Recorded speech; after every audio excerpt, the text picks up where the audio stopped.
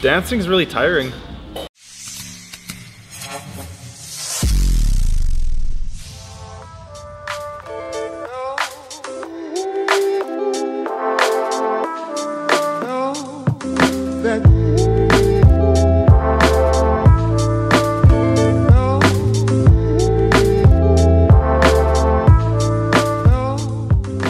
Hey guys, what's going on? Welcome back to Calgary Barbell. We're wrapping up another week of War of the West training. So to cap up this week's training, squats went exceptionally well once again, staying mostly pain-free, which is a huge thing for me. This is the best my squats have felt consistently uh, since well before Worlds Prep, probably Nationals Prep last year when I started dealing with my hip issue.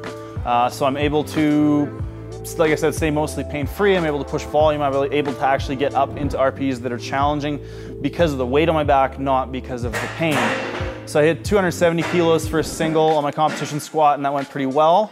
Uh, that puts my projection, I think, up to like 292. So at the meet, I'm hoping to be back around the 300 mark, which would be great for me and a huge marker of progress. Uh, pin squats continue to suck. It's really, really tough to maintain position right at the bottom. I find they're really, really tough on my quads, but at the same time, I found they've been an exceptionally beneficial movement uh, for helping me stay upright, which seems to really matter in terms of how much my hip hurts or whether my hip hurts, as well as front squats. That's something that I've been doing this whole training block. Uh, I've been doing front squats for sixes every Wednesday. And again, just murders my quads, but really does a great job of, um, I think, developing a really upright posture uh, and allowing me to get nice and strong out of the bottom so I'm not dipping forward and, and getting into that mechanic that really bothers my hip. Uh, bench wise, shoulders are holding up, everything's feeling good there. Everything's moving well, my bench seems to be progressing. So I hit 162 and a half kilos for my competition single, bunch of volume at 132 kilos. Um, this time last training cycle leading into nationals, my shoulder got really, really bunged up and it hasn't happened, knock on wood. Um, it won't, but yeah, who knows, we might even see a bench PR at this meet, which would be uh, crazy. It would be awesome. I haven't PR'd my raw bench since Worlds last year, so just over a year ago.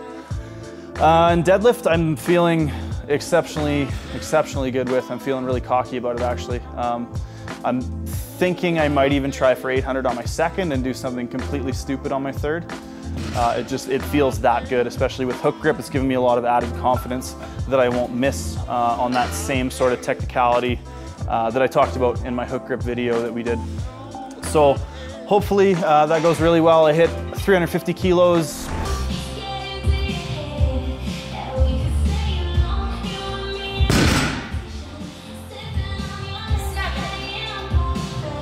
Paused 325.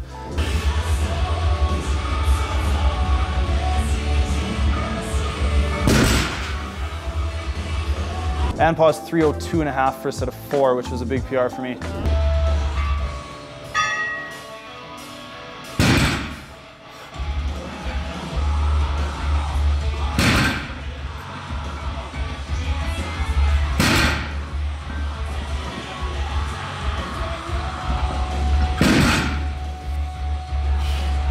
Uh, so deadlift just feels insane right now. It feels really, really good. So hopefully I can do something really cool at War of the West and uh, put on a bit of a show. Moving on to our question of the day today, we got a question from Bear Brothers Powerlifting, some of our good friends from Regina, uh, and they actually train at the gym Metal, which is where War of the West is going to be held in a couple of weeks here. So uh, these guys are saying that they've been doing more GPP lately, twice a week, progressive hill sprints. Um, Concerned whether or not it'll affect his strength, but so far it seems okay. He wants to have capacity for health, um, but doesn't want to affect his success in powerlifting.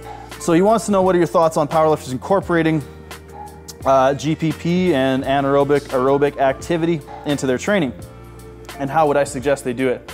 Uh, I would say, uh, I'm not sure if that's Nick or, or who that is, but anyways, I would say guys that the way that you are doing it would be the way that I would do it, and that would be to gradually incorporate it, and you, you just kind of have to see how it affects you.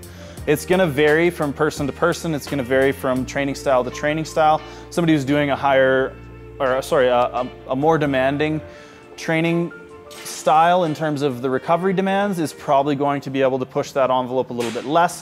Whereas somebody who has a little bit more in the tank with their training is gonna be able to push that kind of stuff a little further. So because there are so many variables involved. It's going to be a bit of a science experiment. You're going to have to kind of, uh, you know, go in with your hypothesis of okay, I can, I, maybe I can do two of these sessions a week. Do it for a while, record your results, go back and say confirm or deny your hypothesis. So whether whether it worked for you, whether it didn't, whether it affected your training or whether it didn't, it's going to be a lot of experimentation. You're going to have to kind of uh, toy with it on your own. I would say for most people, start with once a week. Start with a very very low. Um, working volume, I suppose. And do that for a couple of weeks, see if it affects your training. If not, increase. Increase, increase, you know, monitor how much it's affecting your recovery, if at all, how your numbers are going up or down in the gym, um, and use that as your guide as to whether or not it's going to affect your training. There's no hard and fast rule of like, okay, you're a power lifter, you can do this many a week. So I, I wish it were that easy to give you guys a distinct answer, but I would say try it out, start slow and gradual and really carefully monitor your, your markers for recovery. So your soreness, your tiredness, your motivation to train, the things like that. And that's gonna be the best way to get sort of a read on how that's gonna work for you. Another really exciting tidbit, we're gonna be having our shirts and sweaters dropped off today. So those will be launching within the next couple of weeks. We'll give you guys a, a hard and fast uh, sort of deadline or, or, launch date for that within the next couple days once we get shipping and things like that figured out. But it will be coming very, very soon. We're very excited about it. You guys have been seeing some of the shirts in the videos recently, so if you like those, they're gonna be coming to you very quickly.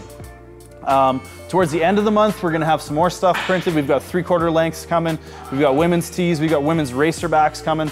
And then further into the summer, we're probably gonna do some tank tops and some hats. So we got all kinds of cool shit coming. Really, really excited about it. So stay tuned for that. Hit that subscribe button below if you haven't already. Leave a like. Question of the day, we are open season for that. So ask your questions below. If you have any questions about anything else, feel free to ask them and we will see you guys next week.